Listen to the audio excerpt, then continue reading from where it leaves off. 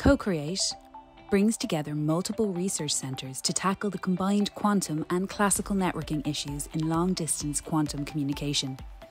The programme aims to foster deep collaborations between the quantum and the classical networking communities within the centres, focusing on the core network design problems in the coexistence and control of quantum and classical networks. I think the diversity of research areas that actually can play a role has surprised me, right? You think about your, the specific things you know you need to build a quantum network and you say, okay, I, I want to work on this and this and this.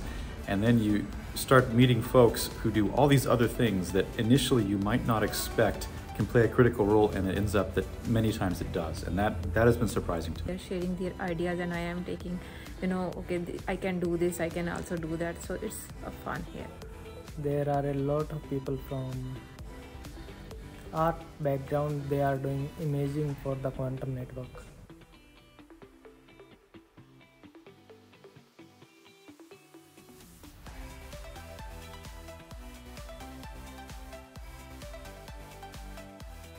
Three words that came to my mind when I heard about CoQREATE is engineers, physicists, and all the quantum stuff. Connect quantum research.